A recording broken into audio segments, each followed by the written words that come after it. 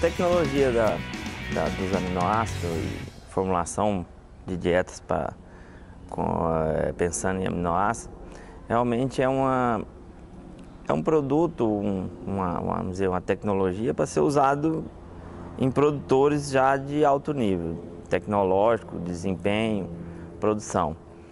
E com o apoio da Diceu, a gente percebeu a, a importância de se fazer formulação por esse é, parâmetro, né? A gente sabe que países primeiro mundo, outros países aí que já usam isso há muitos anos, mas no Brasil está agora chegando isso aí para nós. E a gente, eu vejo como um, um ótimo, um ótimo rumo que está tá sendo desenhado aí para esses produtores e vejo justificativas para se usar. Para mim tem quatro pontos assim bem bem, bem interessante a gente poder estar tá olhando qual o ângulo que a gente vai olhar de usar metionina ou não usar. É, o primeiro é sólidos. Com a propriedade que vende, o preço do leite dele tem o parâmetro sólidos, proteína, então você faz a conta de quanto os trabalhos têm aumentado de proteína e paga a conta vendendo mais proteína, o laticínio. A outra vem em reprodução. É, a gente sabe que o desempenho reprodutivo das vacas é melhor. Então você faz uma conta simples. Quantas vacas a mais prenha é, gastaria para pagar a conta da metionina? Bom, tá aí. Você faz essa conta, você vai fazer ela lá na sua, na sua propriedade. Ou na propriedade que você está trabalhando. O outro ponto, saúde animal e junto à saúde é produção, porque se o animal está mais saudável, ele vai produzir mais. É uma coisa que a Diceu fala pouco, é assim, na hora que a gente vai fazer conta, vai levar em consideração que vai aumentar leite? Nós não levamos em consideração isso. Mas nós temos visto nas fazendas que a gente está usando que sobe leite. E eu acredito que é vindo da sanidade.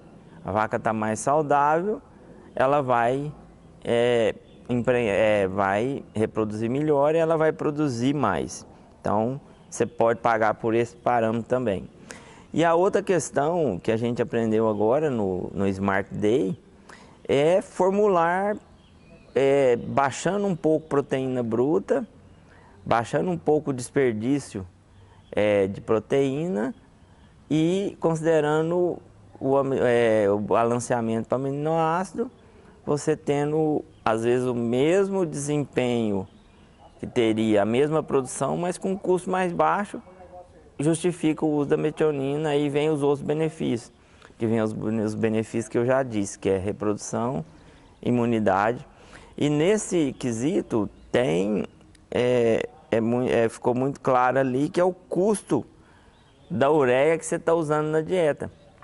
Né? É, é quanto está custando se você está é, jogando muito fora, o custo está alto. Se você está jogando menos fora, o custo é mais baixo. Então é isso que a gente tem usado. Bom, a propriedade fica em Quirinópolis, né? É, distante 100 km de Rio Verde. É, hoje nós estamos com 350 animais em lactação, uma média aí por volta de 34, 35 litros, né? 11.500 litros mais ou menos hoje na atualidade. É, nós começamos com a Diceu há cerca de um ano atrás, na verdade até um pouco antes, é, de um experimento que foi conduzido na, na, na propriedade. A gente veio para o evento para mostrar é, os resultados do experimento, meu experimento de mestrado, que foi com o Smartamine.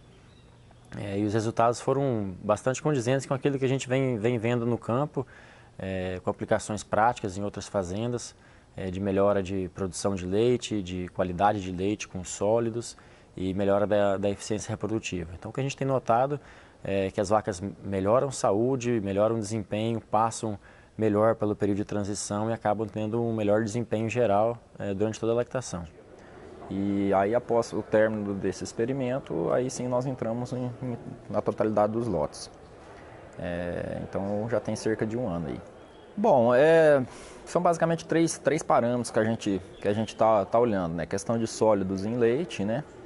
É, é um dado interessante, mas é, é que no Brasil a gente sabe que o pagamento por, por volume ainda é o que é priorizado, né? Então, apesar de ser um benefício, a gente acaba não tendo um tanto um retorno financeiro em cima disso aí. É, volume de leite, né? O, o incremento que, que o produto nos possibilitou, né? Que do experimento deu para ver alguma coisa e a campo também a gente sentiu um, um aumento de leite.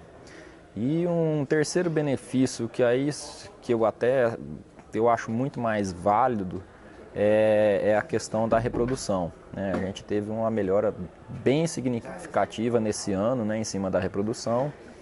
Pode estar atrelado a outros fatores também, mas acredito que o Smartamin veio, veio ajudar bastante nesse ponto aí.